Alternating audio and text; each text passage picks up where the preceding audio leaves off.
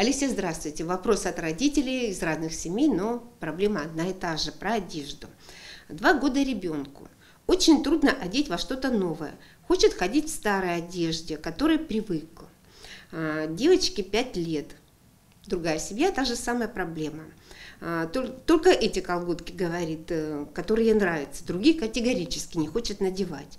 С вечера вместе готовим одежду в садик. Она сама выбирает – Утром ее все не устраивает, закатывает скандал. А с большим трудом уговариваю ее одеться. Иногда из-за этого не успеваем в садик, а садик она ходит с удовольствием. Что делать?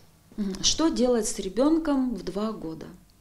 Почему он не хочет менять одежду, да, или вообще с трудом одевается. С года до двух ребенок еще напоминает маленького звереныша, которым движут инстинкты, чтобы мне было удобно, хорошо и комфортно. И если родители замечали, то именно в этот период дети очень любят бегать голышом, одежда их стесняет, одежда им мешает, то есть еще властвуют такие первобытные инстинкты. Да, и родителям необходимо это учитывать. Естественно, ни в коем случае ребенок так действует не потому, что он хочет насолить или разозлить родителей. Он не хочет одеваться или он не хочет менять одежду. Он так действует, потому что ему так удобно, так хорошо. У ребенка нет понимания времени. Поэтому ему все равно, что вы опаздываете на работу. И опять же он это делает не потому, что он хочет вам насолить, а потому что у него действительно отсутствует понимание времени и пространства. Он делает так, как ему комфортно. И даже если ребенку 5 лет, а, то он только вступает на путь социализации, он только учится жить в социуме, он только учится жить в границах, в которых мы существуем, взрослые люди. Поэтому, когда вы утром кричите на своего ребенка, давай быстрее, я опаздываю на работу, что ты чухаешься, да ты там такой, такой, такой, у ребенка кроме недоумения, что вы от него хотите – вы ничего не вызовете, а вслед за недоумением пойдет агрессия, злость, и так вы точно с ним не договоритесь. И тогда действительно ребенок начнет действовать на зло. Поэтому ребенка 3-4 года, в 5 лет.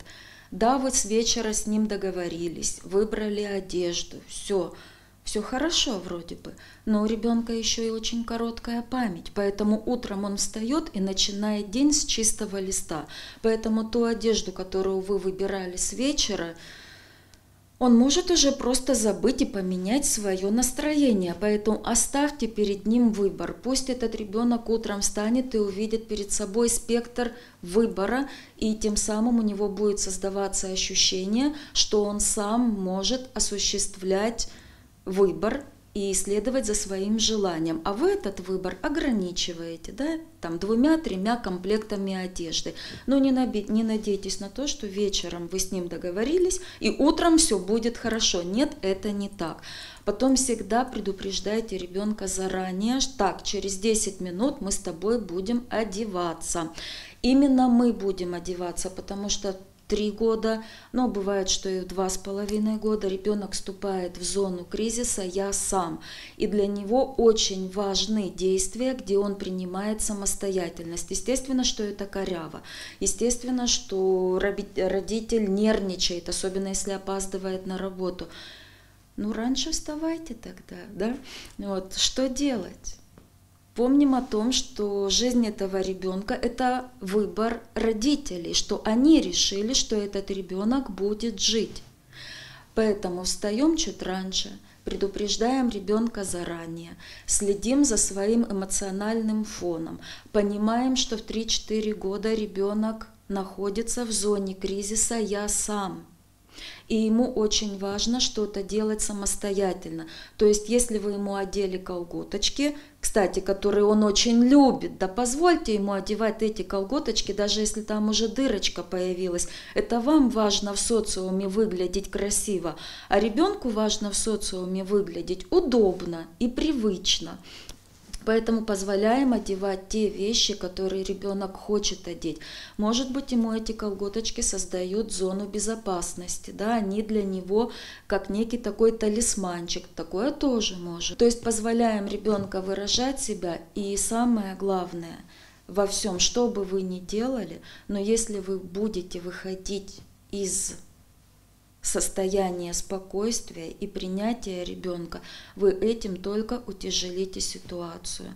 Поэтому не можете спокойно себя вести. Запаситесь ящичком валерьянки, выдохните, выйдите, постойте у окошка, подышите, вернитесь и говорите с ребенком спокойно. Может быть, э, и отвлечь его. Может быть, и дать ему в пример какого-то его любимого героя из фильма, из сказок, из комикса, привести его как пример, подчеркивать, что ребенок уже что-то сделал хорошо, да, вот. Ну, то есть находить компромиссные решения и следить за своим эмоциональным состоянием.